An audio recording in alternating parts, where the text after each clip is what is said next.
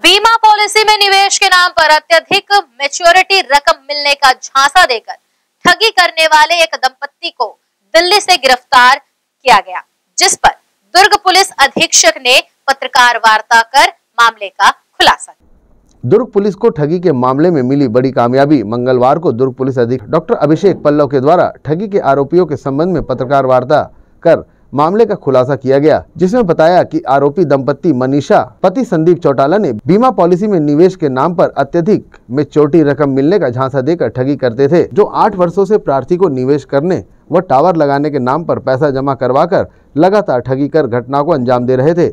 वहीं आरोपियों के कब्जे से घटना में प्रयुक्त विभिन्न बैंकों के बैंक पासबुक व मोबाइल फ़ोन तथा सिम कार्ड भी बरामद किया गया।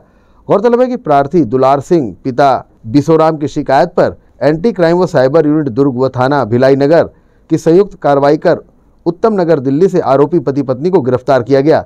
गौरतलब है कि प्रार्थी दुलार सिंह जुनवानी भिलाई निवासी द्वारा रिपोर्ट दर्ज कराई गई थी कि बीमा पॉलिसी के नाम पर गाँव के ज़मीन में मोबाइल टावर लगाने हेतु टावर इंस्टॉलेशन करने व एक वर्षीय निवेश प्लान सभी निवेशकों की मेच्योरिटी अमाउंट वापसी के लिए डॉक्यूमेंट के रीवेरिफिकेशन के नाम पर कथित मनीषा शर्मा के द्वारा अपने आप को रिज़र्व बैंक का अधिकारी बताते हुए विभिन्न इन्वेस्टमेंट प्लान की जानकारी देकर विभिन्न मोबाइल नंबरों के माध्यम से बातचीत अपने अलग अलग बैंक खातों में रकम जमा करवाकर लगभग एक करोड़ बाईस लाख रुपए की धोखाधड़ी की है, जिसकी रिपोर्ट पर थाना भिलाई नगर में 420 34 की धारा लगाकर अपराध पंजीबद्ध कर विवेचना में लिया गया है, जिसमें दो दिनों की रिमांड पर पूछताछ की जा रही है। इस संबंध में पुलिस अधीक्षक डॉक्टर अभिषेक पल्लव ने अपनी प्रतिक्रिया दी। के एक रिटायर्ड एम्प्लॉई 2013 में पहली बार 9 लाख रुपए उन्होंने इंश्योरेंस में एक कथित एजेंट द्वारा फ़ोन करने पर बातचीत करके उन्होंने लगाया।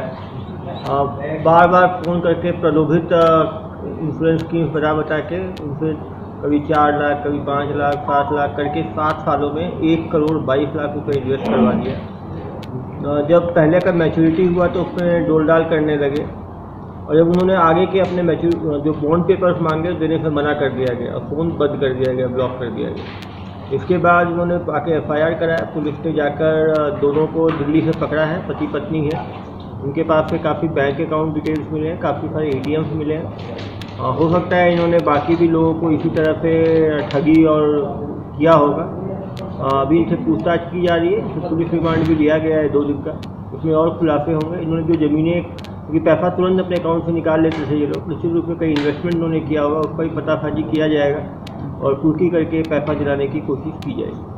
फ़िलहाल बीमा कंपनी की आड़ में धोखा देने वाले एक दंपत्ति अब पुलिस की हिरासत में हैं, परंतु ऐसे और कई मामले हैं जिसमें अभी तक पुलिस के हाथ पुख्ता सबूत भी नहीं लगे हैं और आरोपी बेधड़क ऐसी घटनाओं को अंजाम दे रहे हैं। देखना होगा कि पुलिस इन पर कब तक नकेल कस पाती है और पुलिस के हाथ कब तक इनके गिरेबान तक पहुँच पाते हैं।